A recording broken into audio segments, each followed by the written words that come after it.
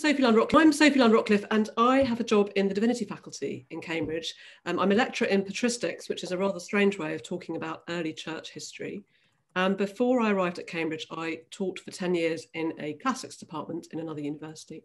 And before that, I taught medieval history at the University of Cambridge. Um, and that's all a way of saying that I've actually been interested in the devil for about 20 years, but I've been used to studying and teaching the subject in three very different sorts of departments. And one of the topics that we want to sort of get you thinking about today is the canon. So, what is it that we read and study, and what gets into it and what's left out? And I wanted to start off by asking the question of where is the devil in the canon of Christian theology and history? Um, and there are two big things to say about that. First of all, on the margins. So, for example, you look at the history of statements of belief, Christian creeds, you won't find much about Satan there. If you look at the history of the discussion of doctrine of theology at church councils, not much Satan there. And if you look at major works of systematic theology, which are still studied by um, theologians in the 21st century, you won't find much devil there either. But if you look at the enormous range of different sorts of texts produced in the uh, late, late antique, early medieval church, so the church of the first millennium, so the first 1200 years of its existence, the devil is everywhere. And this is why I have been so fascinated by this topic for so long, which is it's something that seems to not be embraced by the institutional church. Um, and yet it's so important to the lives and the beliefs and indeed the habits and thoughts and actions of ordinary Christians. Um, so what I want to do today is just to give you a little introduction to some of the, the interesting places where you can find the devil and not just sort of ideas about the devil, statements about the devil, but also the devil speaking. And what we'll see is that the devil gets, well, the devil gets some quite good lines, but also that the devil is good to think with. So lots of our writers in the first 1200 years of the church use the devil to get across particular messages.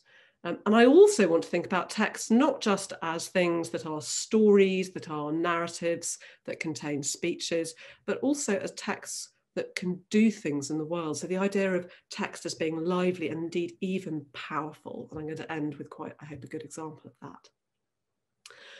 So lots of different sorts of text. I'm going to focus on two different sorts of genre today. The first is hymns.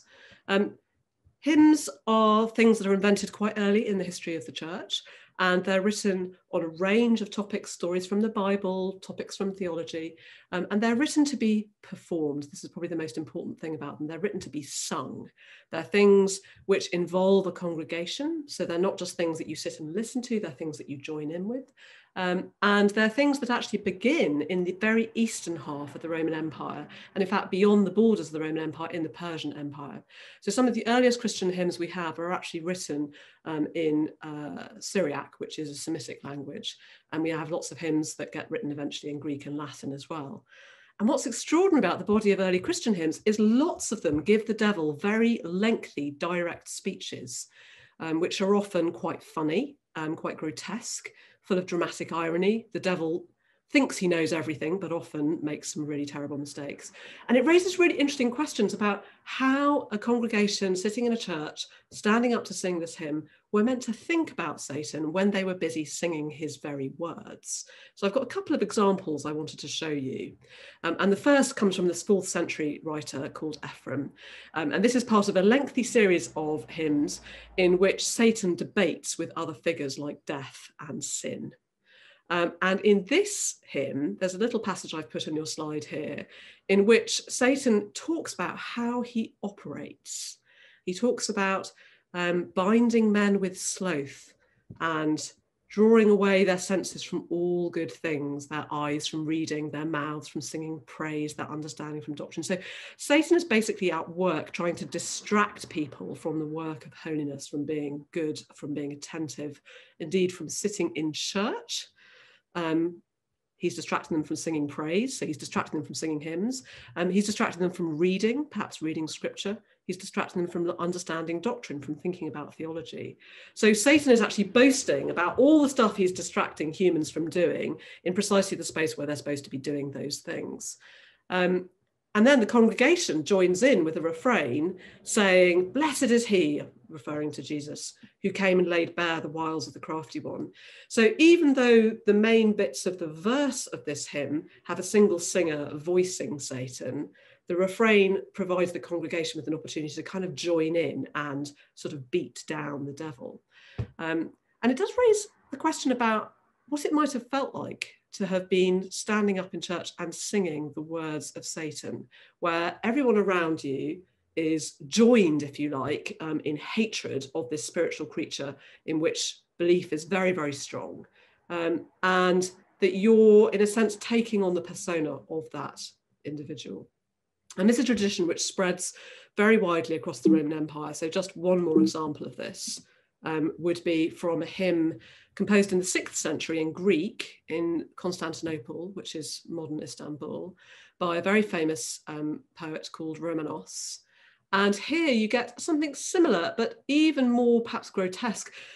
We've got a little description of the devil watching what's going on um, during the um, events of the Passion and the crucifixion, and recognizing to his horror that the thing that he had dreaded most of all, that this Jesus is actually a very powerful person, and in fact, he's discovering is the Son of God, um, is is coming to pass. And so you've got a little lament where he starts wailing and crying to his friends, saying, "What shall I do with this troublesome Jesus, with the Son of Mary, who is killing me?" And then the congregation joins in and finishes off his sentence so here we have an instance where the words of Satan are being sung by a cantor, and then the congregation join in. So they themselves, as a collective, actually take on the voice of the individual evil one.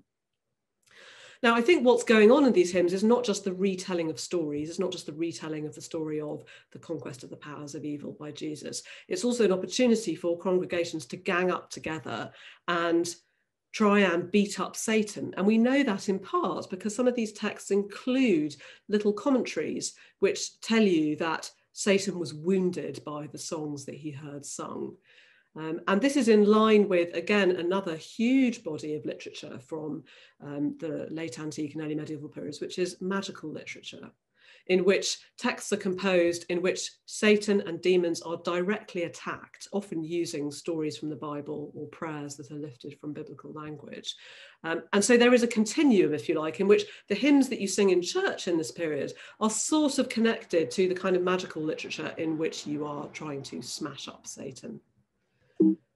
Okay, so that's one genre. The second genre I want to talk about is actually that of hagiography, which is just a sort of fancy way of talking about lives of the saints. And this is a genre of life writing which emerges in the early church out of the habit of writing about the lives of particular kinds of Christians, those who've died for their faith, so martyrs in the second and third centuries.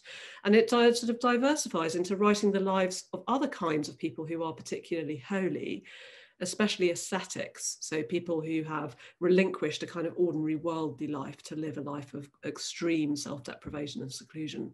Um, and you'll find that in these stories, the devil also features very heavily as the direct opponent of the holy person and is also often given lengthy portions of speech. So I'm going to give you two examples. Um, the first one is from a very, very famous, probably the most famous life of a saint written in antiquity, which is the life of Antony, who is a desert monk who goes um, to live this life of great sort of self-denial in the Egyptian desert. And the story about his life um, contains actually a little bit of first person narration by Antony of his experiences in the desert. So this is actually Antony himself speaking. And this is a story about being visited in the desert by a very, very big, tall, strange figure who, when Antony asks him who he is, he says, I am Satan. And Antony asks, Well, why are you here? And Satan answered, why do the monks and all other Christians blame me undeservedly? Why do they curse me hourly? And Antony answered, Why do you trouble them? And he said, I'm not he who troubles them. They trouble themselves. I've become weak. I have no longer a place, a weapon, a city. The Christians are spread everywhere. And at length, even the desert is filled with monks. So again, you've got this rather pitiful figure of a Satan who's been pushed out of the one space which his has left to him, which is the desert, um, and is full of sort of rancor towards the monks who've taken over his special sort of dwelling space um, and is upset by the fact that they are cursing him. So, again, nested within a narrative about Satan, we've got very lively interchange between a human and the devil, um, in which you also find references to this idea that the way that you talk about someone has an effect on them.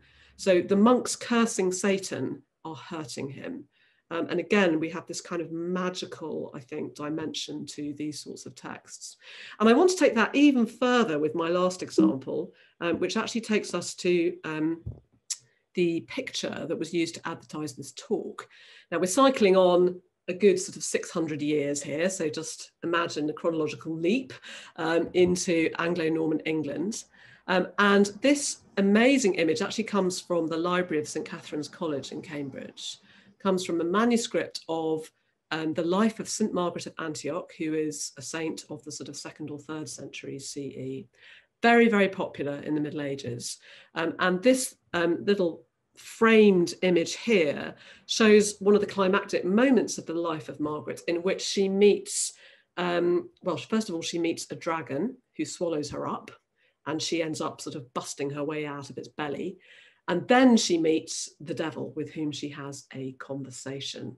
And here you've got the two figures have been kind of conflated. So you've got a sort of a beast with the tail of a dragon. And Margaret has quite a lengthy interchange with the devil in which she asks him basically what he's up to and how what, what he's doing. And I put a passage on this slide in which the devil starts off, and you can sort of get again a flavour of the comic um, quality of this by saying, um, I'll, I'll, gladly tell you what you want to know, but your foot, which you have on my head, can you just raise it a bit so I can breathe a little? And so Margaret very generously sort of lets go of his neck and he sort of coughs and says, Beelzebub is my name. I do nothing other than fight against the people of this world. I am the one who constantly does battle against good men. I cloud their eyes and their wits. I make them forget their wisdom. Now you can actually see, and this was not contrived at all, this is almost accidental, that there is a continuity between the very first text we looked at, in which Ephraim's devil boasts about distracting people from virtue and indeed from their kind of thinking processes. He clouds their eyes and their wits, makes them forget their wisdom. And he laments, Woe is me, wretched, unhappy one. Again, the sort of pitiful sort of spectacle of the arch sort of um, fiend of evil actually sort of confessing defeat. Um, and it's particularly shameful for him in interestingly gendered terms in this text because he's been overcome not just by a holy Christian person, but specifically by a woman, a virgin, a young girl. If a man of worth had defeated me, he said, it would be much less shameful for me. There's no equal battle in, you know, 12th, 11th, 12th century England. Being defeated by a woman is much, much worse than being defeated by a man. Um, now, so far so good. We've got some idea of a kind of a narrative with a back and forth between sort of sassy Margaret and the devil. But there's more to this text than meets the eye, because as well as being a story about an archetypal encounter in which Satan gets to say his piece, it's also a story which was put to use. So the last thing I'm going to show you is a little extract from a prayer that Margaret makes in this text, where she says, Here are all the people who can call upon me and among those are women in labour. He says, If a woman's in labour and calls upon me in her hour of need, give them help and preserve both their lives, talking about the woman and her child. And we know that this is a text that was actually used as a kind of magical object by pregnant and labouring women. Um, and in some manuscripts, the prayer actually includes a supplementary instruction about how to use the book. So, having a copy of this book, you can sign yourself with the sign of the cross with a copy of it, or you just look in it, or indeed you place it on yourself, or perhaps listen to a passage being read. And that will have a transformative effect on your pregnancy and on your labour. So, again, my point about text being powerful things that aren't just contain stories, but are things that are thought to do things in the world, seems to me exemplified by this text in particular.